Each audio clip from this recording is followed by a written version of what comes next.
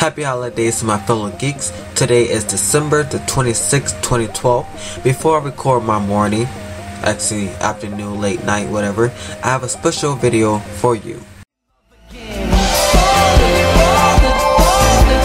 smoking and we're sipping, we're doing it the biggest.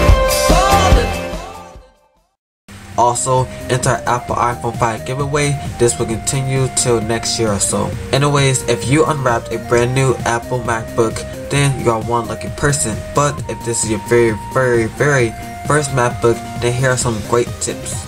Tip number one, turn on the feature called tap to click.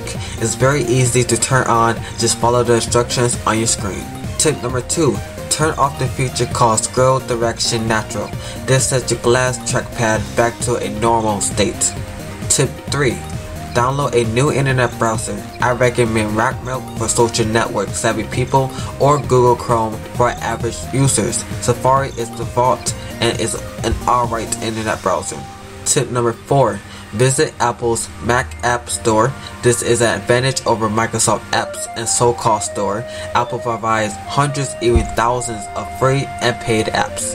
Tip number 5. Use image capture instead of iPhoto. iPhoto tends to provide too much and become slow at times. Image capture is faster and simple for a new MacBook user. And that will end my end of my list of my Apple MacBook Pro tips. Hopefully this helps you and your family and hopefully you have fun with your brand new computer. Also, please give this video a thumbs up, comment below, share, and subscribe.